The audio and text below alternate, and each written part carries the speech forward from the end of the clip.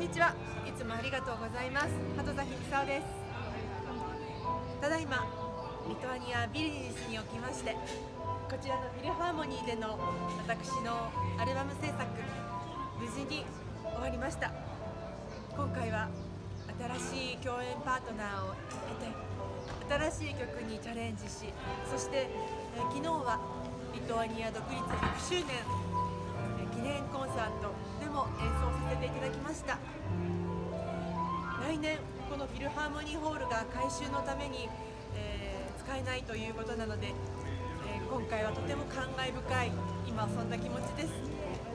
たくさんの応援をいただきましたこと心からお礼を申し上げます。ありがとうございました。